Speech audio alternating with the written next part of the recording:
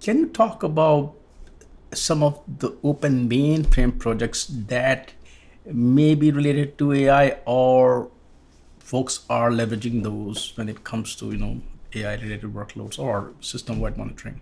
Absolutely. We have a pres- presence in the open mainframe project space, right?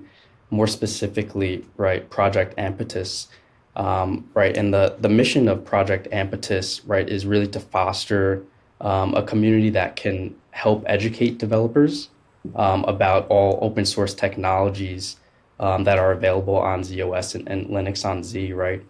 And so that mission very much aligns with um, uh, an initiative that we recently released around um, AI solution templates on IBM Z and LinuxONE. Um, and so you can think of these as really a, a blueprint of getting started um, with AI, uh, with deploying AI solutions on, on, on the mainframe, whether it's IBM Z or LinuxONE, right?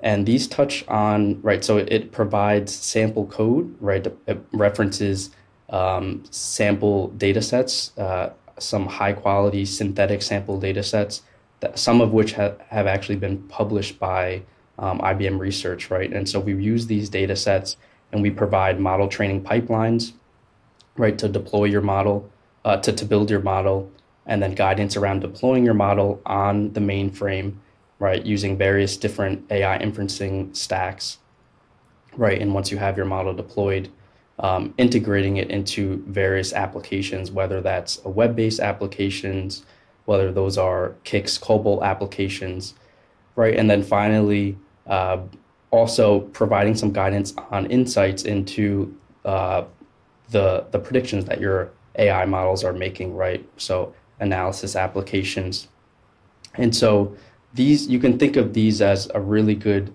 way to jumpstart an AI project um, really serve as a, a, rapid proof of concept or prototyping um, sort of uh, solution, right? And as I mentioned, right, these are all available within the open source domain and have been put under the uh, Open Mainframe Projects Ambitus um, sort of umbrella. There's a lot of help available to get started. Evan touched on the solution templates, which are just a fantastic like general starting point if you really if you want to get your hands um, on some some AI assets and really understand what the process looks like.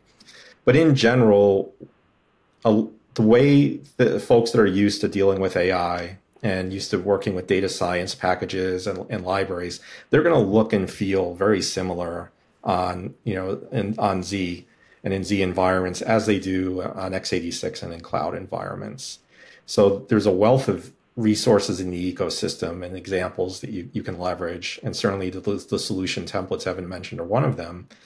But additionally, there's there's a lot of content in terms of Redbooks, um, right, and GitHub assets that right IBM and others have made available that also outline right some of the key technologies we have and different starting points. One thing that we have that I will highlight which is something that we've made available. It's it doesn't cost anything, right, for for you know ZOS or or Linux on Z clients to get started with. Is we do also offer discovery workshops.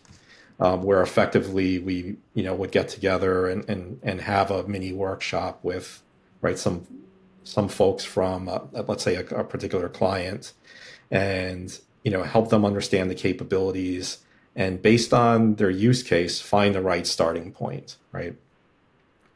So there, there are key assets like that um, that, that, that are available. But just, just taking a step back for a moment, I, I also think, right, the ecosystem is just in, incredibly important. So as we move forward, um, you know, the open mainframe project is, is going to continue to be, in addition to Project Ambitus, which is part of the OMP, is going to continue to be a, a, a really great way for the community to right collaborate on really AI assets, AI resources, and the capabilities that we need in the ecosystem.